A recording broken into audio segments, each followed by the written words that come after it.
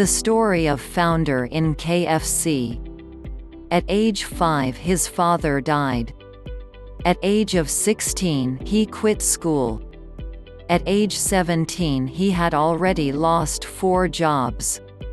Between ages 18 and 22, he was a railroad conductor and failed. He joined the army and washed out there. He applied for a law school he was rejected. He became an insurance salesman and failed again. At the age 19 he became a father. At the 20 his wife left him and took their baby daughter. He became a cook and dishwasher in a small cafe. He failed in an attempt to kidnap his own daughter, and eventually he convinced his wife to return home. At age 65 he retired.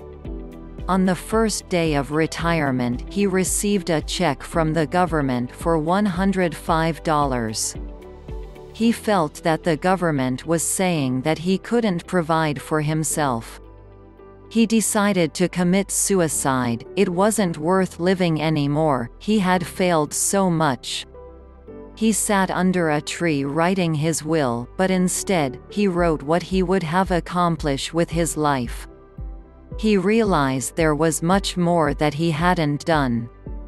There was one thing he could do better than anyone he knew. And that was how to cook.